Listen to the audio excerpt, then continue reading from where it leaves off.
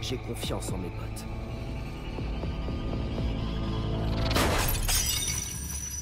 Et eux en moi.